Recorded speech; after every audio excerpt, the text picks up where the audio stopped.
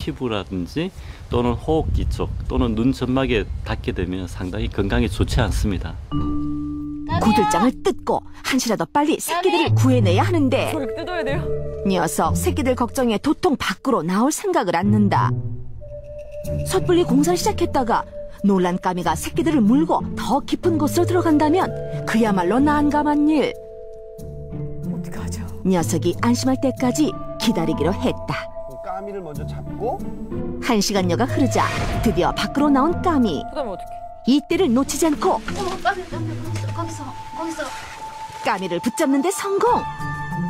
자, 까미야, 새끼들 꺼낼 때까지만 잠깐 어디 가 있자. 알았지? 하긴 그 부분만 팔면 애들은 안 움직이겠죠? 구조에서 가장 중요한 것은 새끼들의 정확한 위치를 파악하는 일. 지금 현재는 요 부위가 가장 크게 들리는 것 같습니다. 아, 안전을 대비해 결국은. 실제 위치보다 조금 뒤쪽의 바닥을 뜯기로 했다.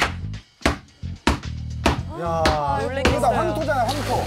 황토로 마감된 바닥을 통째로 들어올리고 마침내 구들장을 여는 순간 어, 벌써 한 마리가 잘못 뺐구나. 아이고, 미동도 않고 쓰러져 있는 새끼 두 마리. 안타깝게도 손을 쓰기엔 이미 늦은 상황이었다.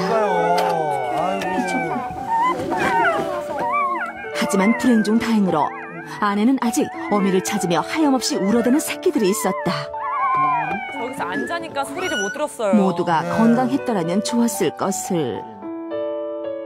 영양 상태로 볼때 어미의 젖은 충분했지만 먼지로 인한 폐 질환으로 숨졌을 가능성이 높다고. 으쌰.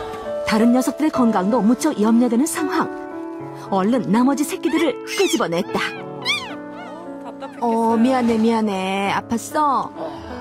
코와 입 주변을 살짝만 닦아내도 시커먼 먼지들이 한 움큼씩 아유. 묻어나오는데 까미는 보호하려고 한 건데 저렇게 또. 새끼들은 태어나 지금까지 햇빛 한 번 쐬지 못하고 이런 검은 먼지들을 들이마셔온 것이다.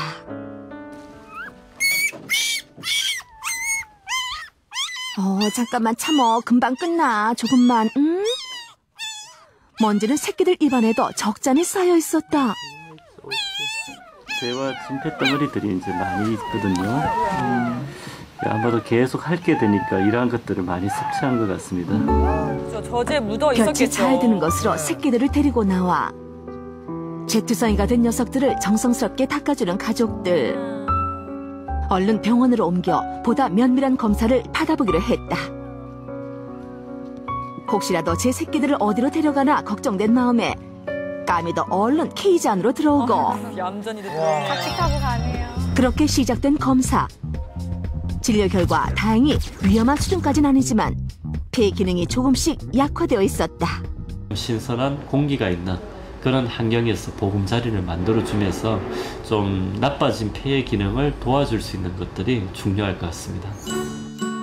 새끼들을 산소를 충분히 마실 수 있는 집중 치료실에 두고 얼마간 경과를 지켜보기로 했는데 다들 그새 달콤한 꿈나라로 향한 모습. 못 꺼냈으면 이런 걸못 봤을 거 아니에요. 아궁이에서 못 꺼냈으면 다 죽었을 텐데. 불면 날아갈까 쥐면 터질까 그슬 못 참고 새끼들에게 향하는 까미. 어미가 이렇게 정성으로 돌보니 새끼들 모두 머지않아 곧 건강을 회복할 것이다.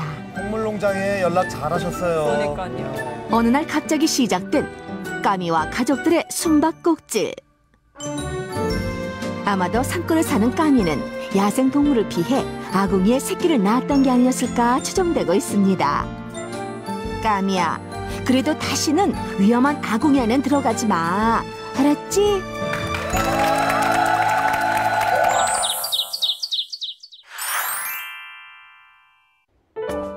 요리 봐도 조리 봐도 사방이 온통 산으로 둘러싸인 산골 마을에 살고 있는 무공의 가족이 있습니다. 제 이름은 김사희입니다.